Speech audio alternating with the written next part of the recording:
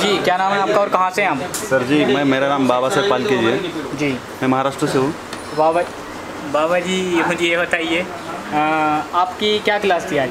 Sir power IC की reballing की और बिटानी की क्लास।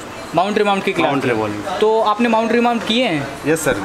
कौन सा फ़ोन है ये? फोर जी फ़ोन है या थ्री जी सेट है? है फोर जी फ़ोन है। फोर जी फ़ोन से आपने power I C mount remount किए हैं? चालू हुआ है आपका फ़ोन? चालू हुआ फ़र्स्ट टाइम में किए या दो चार बार ऐसा कुछ लगा? कितने बार में नहीं किए फ़र्स्ट टाइम ही किया है मैंने सर फ़र्स्ट टाइम नहीं? दो दो दिन आपने ये कितने बार में डन किए हैं? मतलब फ़र्स्ट टाइम में या दो चार बार लगा? क्योंकि कल कल का रिवा कल भी किया था ना सर जी दूसरा वाला आईसी अभी अच्छा। अभी इसका ओके हो गया। ओके हो गया। 28 जुलाई की बेच। हम सब लाइव है।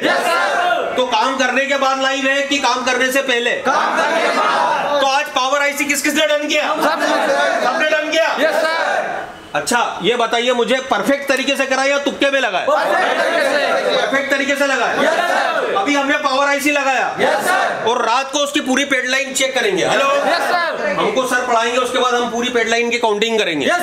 तो सिर्फ़ आईसी निकालने लगाने तो नहीं आए ना हम हम सर्किट सीखने आए। क्या करना है हम सर्किट हम हैंड स्किल सीखने आए। हम प्रोग्रामिंग सीखने आए।